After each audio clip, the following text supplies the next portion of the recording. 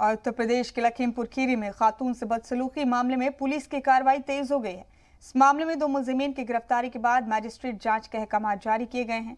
ये पूरी खबर तफसील से देखिए। उत्तर प्रदेश के लखीमपुर खीरी में खातून से बदसलूकी के केस में पुलिस ने दो मुलजिमीन को गिरफ़्तार किया है। बाकी मुलजिमीन की भी तलाश हो रही है। इस मामले में पुलिस वालों की लापरवाही पर भी यूपी सरकार ने एक्शन लिया है। पसगमा थाने के एसएचओ मोहम्मद इलाके के सीईओ और मौके पर मौजूद पुलिस एहलकारों को सस्पेंड कर दिया गया है।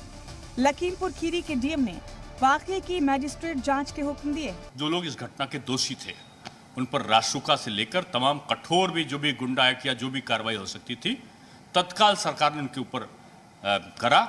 जुमरात को ब्लॉक सदर नॉमिनेशन के दौरान लखीमपुर खीरी के पसगमा में समाजवादी पार्टी उम्मीदवार के साथ प्रस्तावक के तौर पर गई खातून की साड़ी खींची गई थी।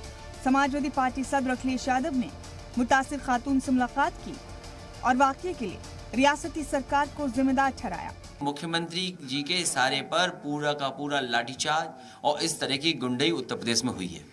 जुमेरात को ब्लॉक सदर नॉमिनेशन के दौरान करीब 14 जिलों में तशद हुआ था।